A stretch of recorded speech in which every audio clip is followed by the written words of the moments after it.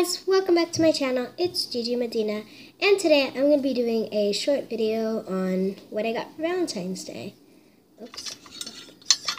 So the first thing I got was a G ring from my mom, and um, this pearl ring from some a boy, and then um, I got this from my great grandma.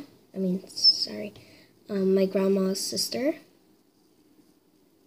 And I got this necklace from a friend. I mean, bracelet from a friend. And so did I do with this one, but it kind of broke at the end, see? And then somebody else gave me this. This. And then I thought it was just like loose inside, but then I looked inside and then there was this.